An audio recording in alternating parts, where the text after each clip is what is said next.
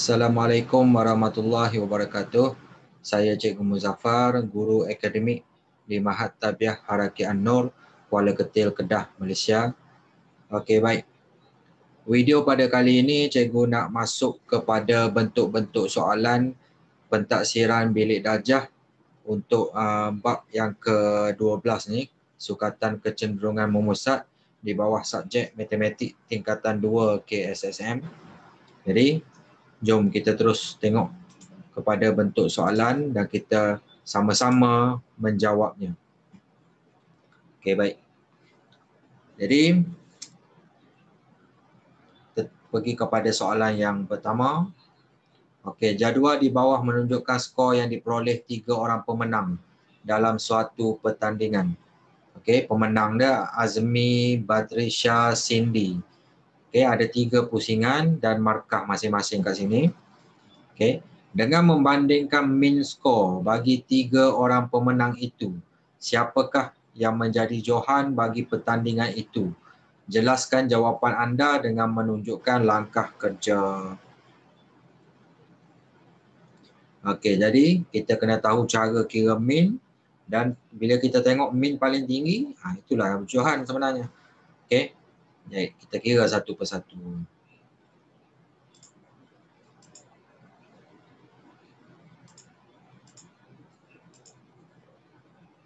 Okey, satu-satulah.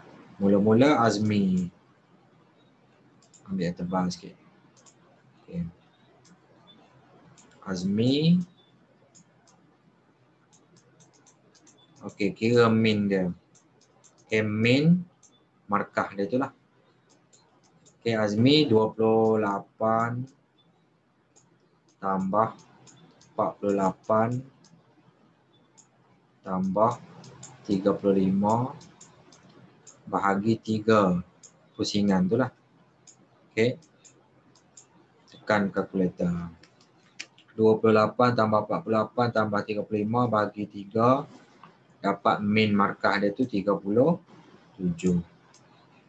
Okay. Cara yang sama kita kira untuk Batrisha.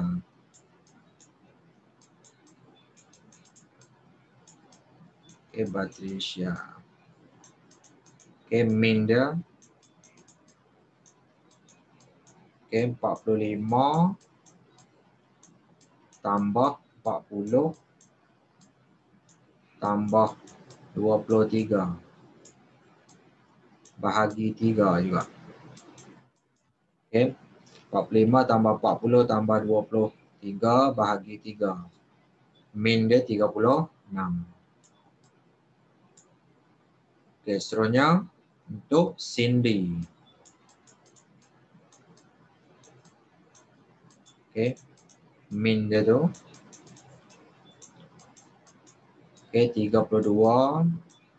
tambah 18 tambah 52 bahagi 3. Okey. 32 tambah 18 tambah 52 bahagi 3. Jadi 34. Okey. Jadi siapakah yang Johan? Okey, baik. Azmi lah 37. Jadi kita tulis jawapannya Azmi adalah Johan.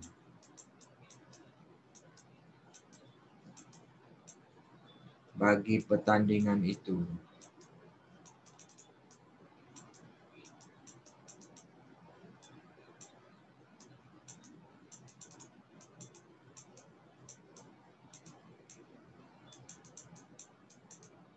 Kerana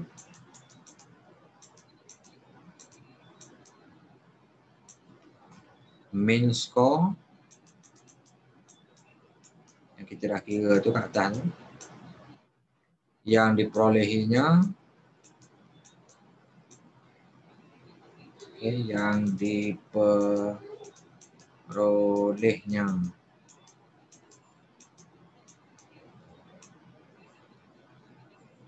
Paling tinggi.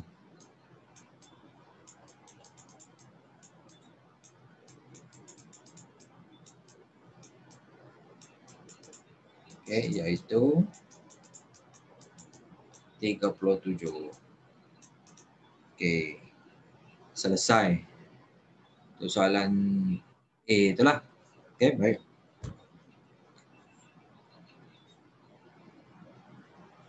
B. Masih lagi berkaitan dengan soalan A tadi.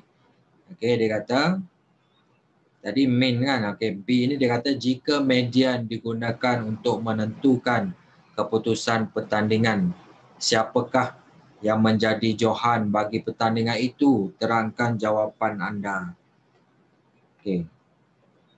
Jadi kalau kita median, kita tengok kat sini.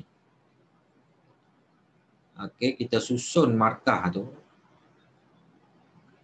Okay, eh, median. Eh. Markah kena ikut susunan lah. Okay, Azmi tertib menaik lah. Okay. Kita ambil balik jumlah dia tu. Okay. okay. Kita susun 20 kena start daripada paling kecil sehingga paling besar. 28, 35, 48.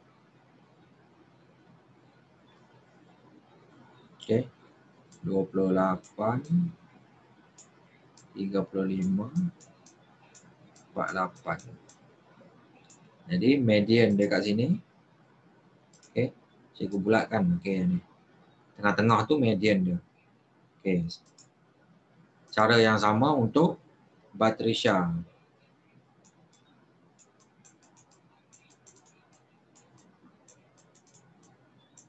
Susun balik markah dia ikut tertib menaik. Okey. 23, 40, 45. Okey, 23, 40, 45. Jadi tengah-tengah dia, median dia 40. Ha? Okey, 40 tengah-tengah dia. Median. Okey, seterusnya. Seorang lagi tu Cindy.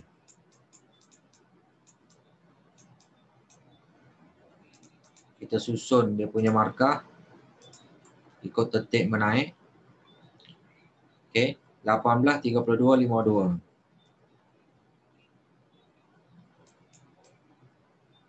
okey 18 32 52 jadi tengah-tengah dia 32 median dia lah.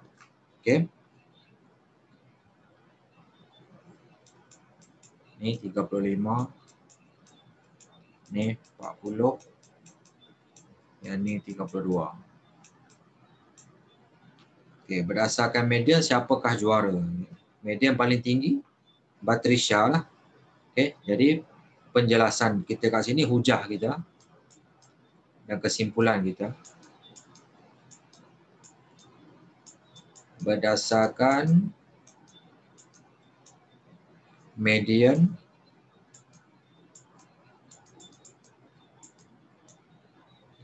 Batrisha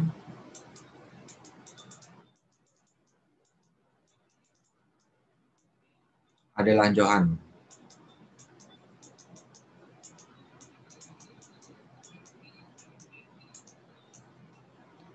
Bagi pertandingan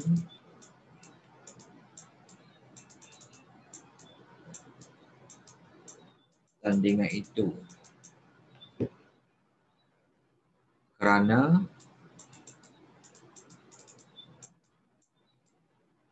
okay, kerana nilai mediannya paling tinggi.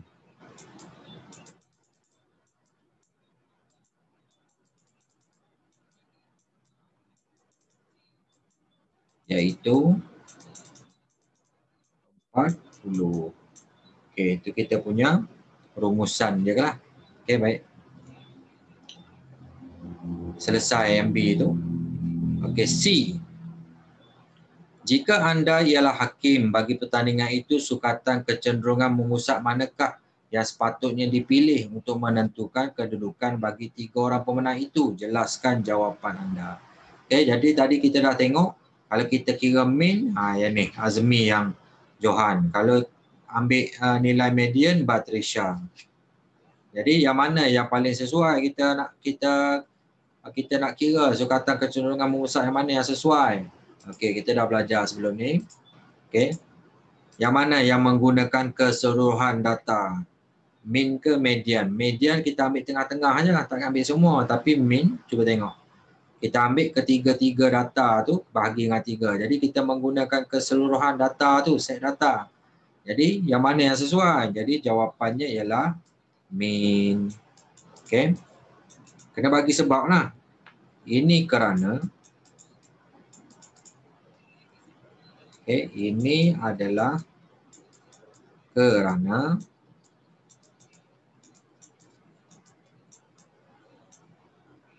mean melibatkan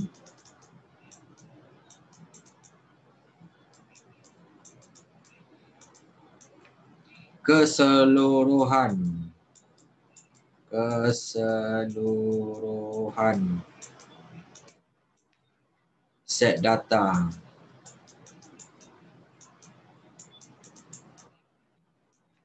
Dalam jadual itu.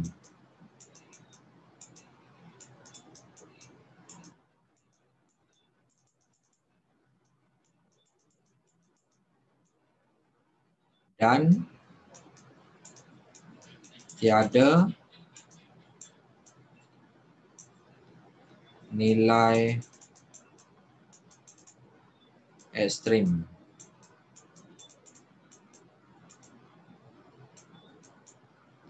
dalam set data itu.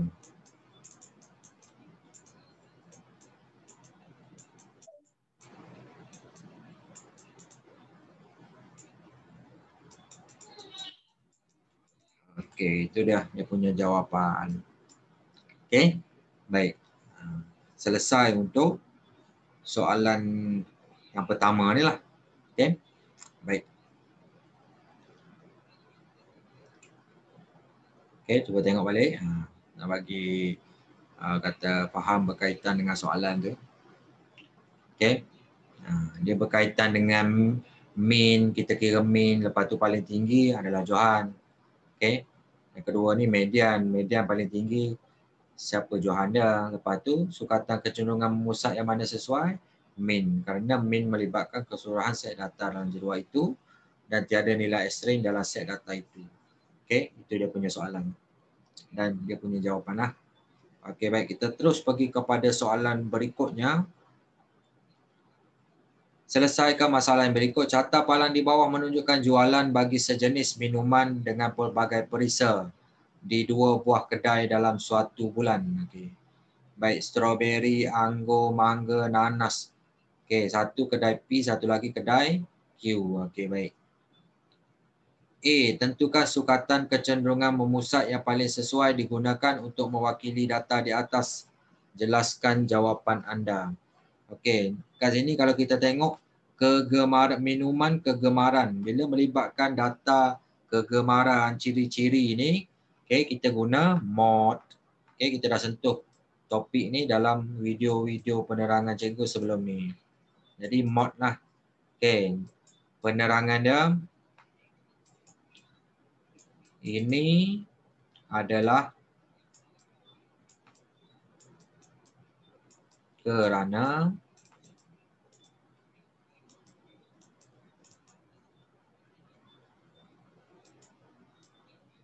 data di atas adalah okay, data kategori okay, data kategori okay. data yang yang melibatkan kegemaran, ciri-ciri. Ini data kategori. Jadi yang sesuai digunakan adalah mod. Okay. B. Antara empat perisa minuman itu yang manakah paling popular? Okay, tengok yang paling tinggi itu. Mang mangga lah. Okay. Jawapannya mangga. ataupun nak tulis perisa mangga pun boleh. Okey, ini adalah kerana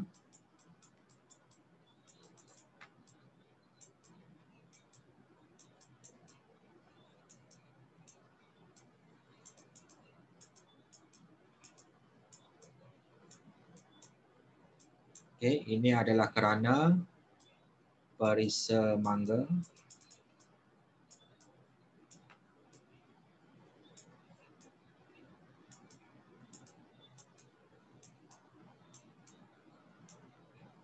ialah mod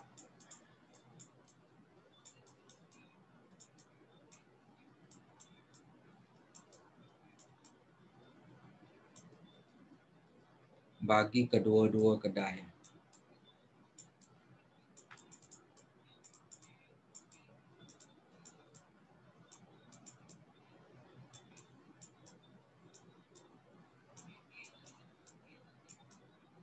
Itu. Okey, baik. Okey. Selesai B itu. C. Jika anda pengilang bagi minuman tersebut, perisa apakah yang perlu dikurangkan pengeluarannya? Jelaskan jawapan anda. Okey, ini berkaitan contoh soalan yang berkaitan macam soalan PR pentasiran bilik darjah sebelum ni ataupun contoh dalam buku teks. Okey, kita tengok yang paling rendah lah. Paling rendah ni perlu dikurangkan. Okay, perisa apa? Strawberry lah. Okay, jawapannya perisa strawberry. Tambah tulis strawberry. Okay, jangan tulis strawberry saja. Kan? Dia kena ada sebab dia. Jadi kita tulis kat situ. Ini adalah kerana. Tulis ayat sikit lah. Macam bahasa Melayu sikit lah. Kena tulis ayat. Ini adalah kerana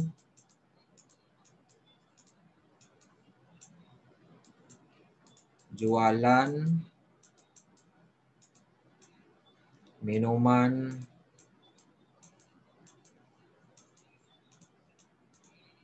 perisa strawberry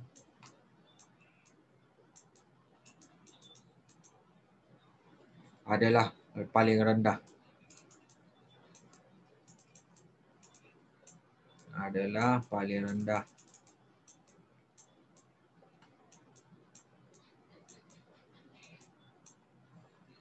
Di kedua-dua kedai itu.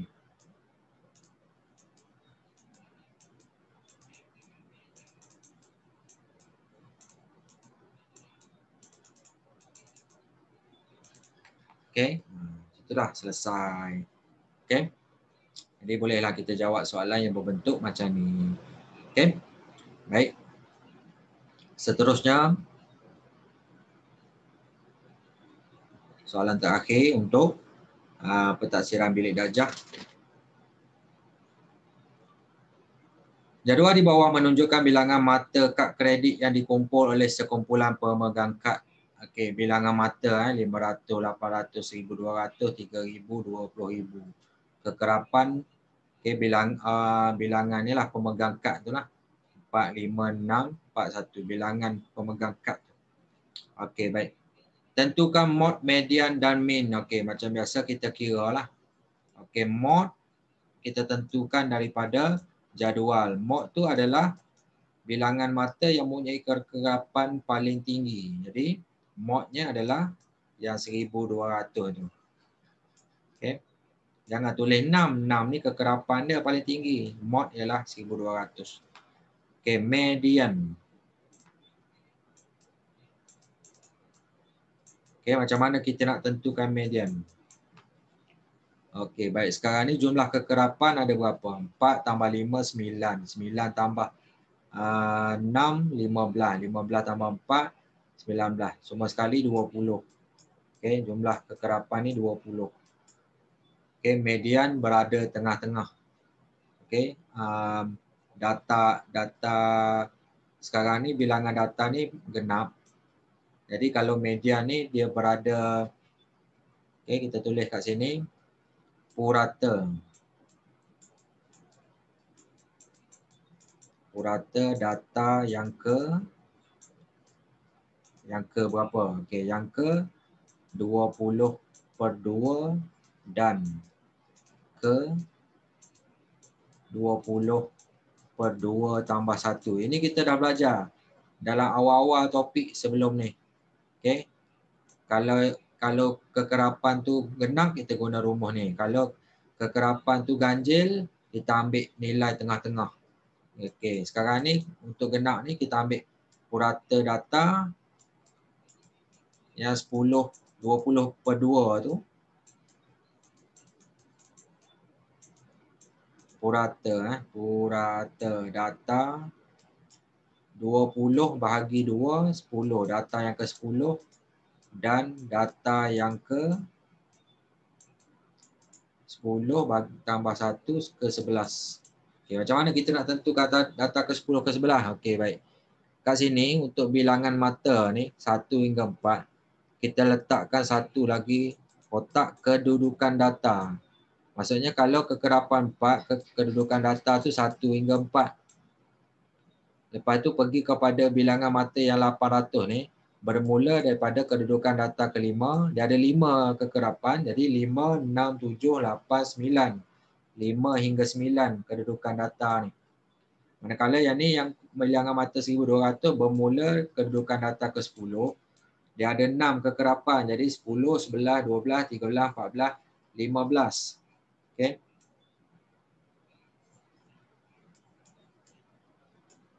Manakala yang ni bilangan mata 3000 ni bermula kedudukan data ke 16. Dia ada kekerapan 4, 16, 17, 18, 19. Okay, 16 hingga 19. Dan last kali ni bilangan mata 20,000 ni kedudukan data yang ke-20. Jadi kat sini kita nampak okay, kedudukan data ke-10 dekat mana? Dan 11 berada di sini. Okay, nampak ni. 10 dengan 11 berada kat sini. Okay, bilangan mata yang mana yang oh, kata 10 sebelah ni? 1200. Jadi purata macam mana nak kira? Okay, 1200 1200 data yang ke-10 pun 1200 tambah data ke-11 pun 1200 okey bahagi dua lah nak cari purata okey dan kita dapat sama jugalah 1200 okey ha tu cara nak tentukan median okey baik manakala seterusnya mean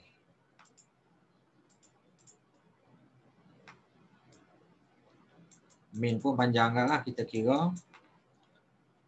Setiap bilangan mata darat dengan kekerapan tambah dengan bilangan mata kekerapan sampai ujung ni. Okey. Baik. Ha, macam ni. 500 darat 4 tambah 800 darat 5. Okey, tambah 1200 darat 6 tambah 3000 darab 4 tambah. Okey ni 4 eh. tambah 20000 darab 1 okey. Jumlah kekerapan kita dah kira 20 jadi kita dapatlah nilai min kira tu. Okey. 500 darab 4 tambah 800 darab 5 tambah 1200 darab 6 tambah 3000 darab 4 tambah 20000 darab 1 bahagi 20. Okey, 2260. Okey, 2260. Okey, selesai soalan A. Okey, baik. Soalan B yang terakhir.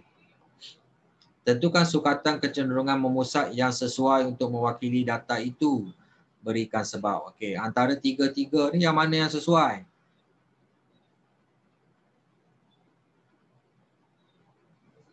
Okey. Kalau kita perhati kat sini, ada tak nilai ekstrim? Ada. Okey, 20,000 ni nilai ekstrim, 20,000.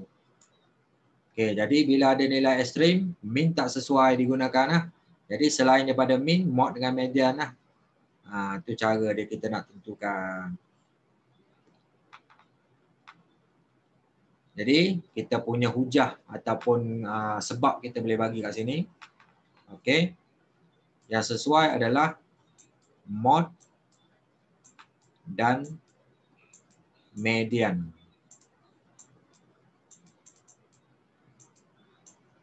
Okay, adalah sesuai.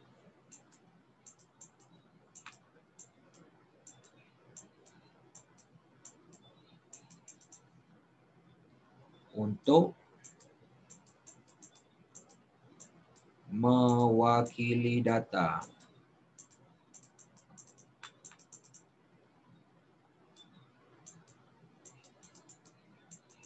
Kerana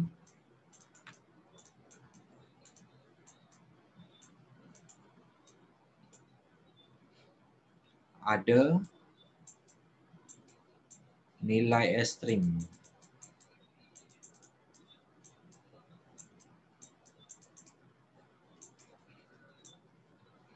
Iaitu 20,000 tu yang mempengaruhi nilai min.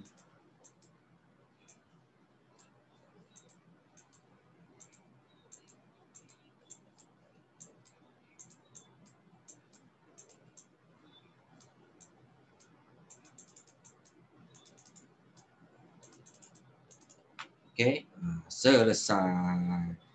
Okey, sekian terima kasih. Semoga bermanfaat kepada para pelajar. Semoga bila keluar je soalan bentuk macam ni, para pelajar boleh menjawab dengan tepat, jelas dan nak kata dapat skor yang maksimum untuk soalan yang macam ni. Okey, semoga bermanfaat. Okey. Kongsi-kongsikan kepada rakan-rakan, kepada siapa-siapa saja yang melihat video ini. Terima kasih diucapkan. Okay, Assalamualaikum warahmatullahi wabarakatuh. Terima kasih.